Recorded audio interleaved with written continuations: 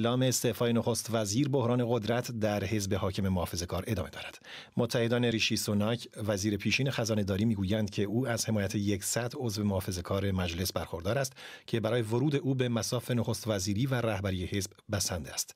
گمان می‌رود که رقیب او بوریس جانسون باشد که همین چندی پیش وادار به استعفا از مقام نخست وزیری شده بود. آقای جانسون از تعطیلاتش در جمهوری دومینیکن دارد برمیگردد. هیچ یک از این دو هنوز رسما داوطلب جایگزینی لیستراس نشدند. فعلا پنی موردانت رئیس مجلس عوام تنها نامزد رسمی نخست وزیری است. احزاب مخالف خانه برگزاری انتخابات سراسری شدند. قرار است رهبر بعدی تا شش روز دیگر مشخص شود. از یاسمین میزر سردبیر نشریه کریتیک و پژوهشگر ارشد در دانشگاه آکسفورد انگلستان پرسیدم چه امیدی هست که در عرض این مدت کوتاه یک رهبر مناسب انتخاب شود. سخته که ما تصور کنیم که حزب محافظه کار در شش روز با عملا معجزه ای بتونه رهبری انتخاب بکنه که با این همه مشکلات اقتصادی سیاسی که بریتانیا الان باهاش روبروه برخورد بکنه. گویا نمایندگان گروه 1922 که نمایندگان اگه بخواید بدون مقام از حزب محافظه کار در پارلمان هستند و تعیین کننده خواهند بود در چند روز آینده. تصمیمشون اینه که اگر بشه تعداد کاندیدها رو دوشنبه به دو نفر تقلیل بدن. چون رده که برای شرکت در این انتخابات تعدادی که برای حاضر شدن در انتخابات گذاشتن بالاست.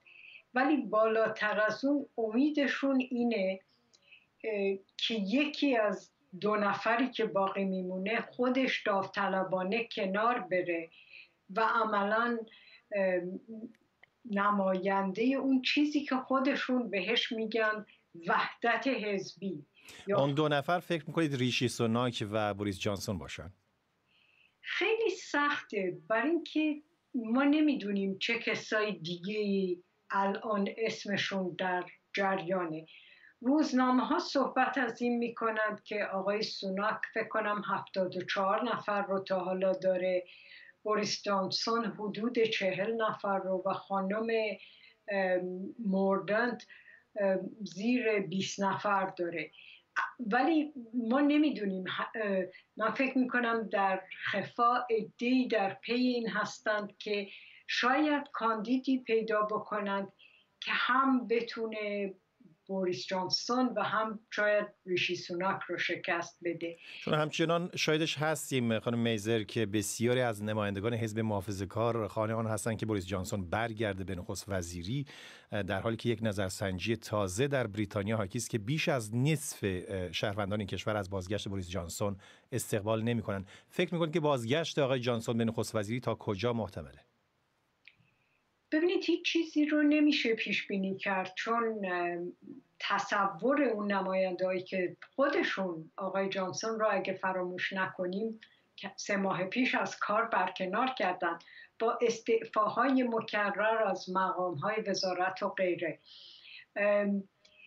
بعید نیست شاید بخوان برش گردونن ولی اگه برش گردونن از همون اقتدار سابق برخوردار خواهد بود؟ بعیده. مشکلات زیادی داره. یکی از مشکلاتی که داره اینه که در یک کمیته تحقیق پارلمانی در رابطه با کل قضایای مهمانی های شماره ده دروغ گفتن به پارلمان اطلاعات غلط دادن به پارلمان در دستور کاره و ایشان را اگه انتخاب کنند و اگه این کمیته ایشان رو مقصر بدونه اون وقت ما با بحرانی بدتر از بحران هفته گذشته روبرو هستیم. و این بحران رو خانم میزر خیلی ها به یک هرج و مج یا نابسامانی در حزب محافظ کار حزب حاکم بریتانیا تشبیه می‌کنن. میگن که نخست وزیر جدید سومین نخست وزیر محافظ کار خواهد بود در کمتر از سه ماهی که گذشته.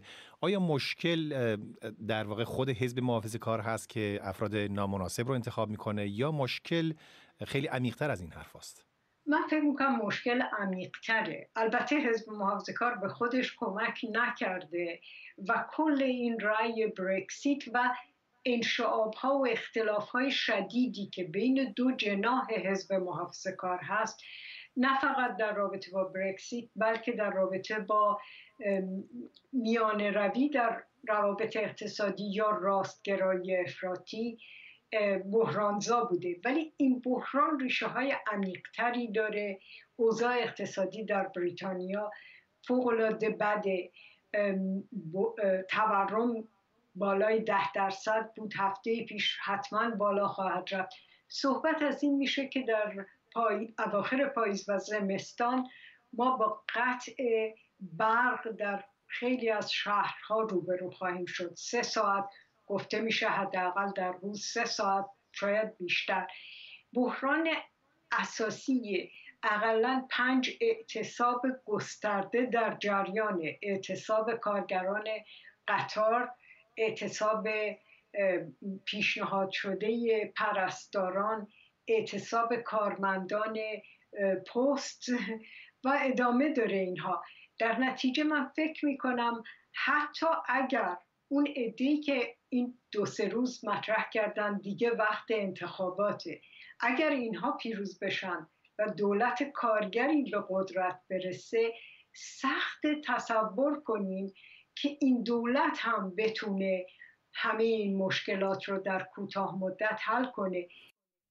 با یاسمین میزر سردبیر نشریه کریتیک و پژوهشگر ارشد در دانشگاه آکسفورد انگلستان صحبت می کردم در همین مورد قاسم نوشته که لیستراس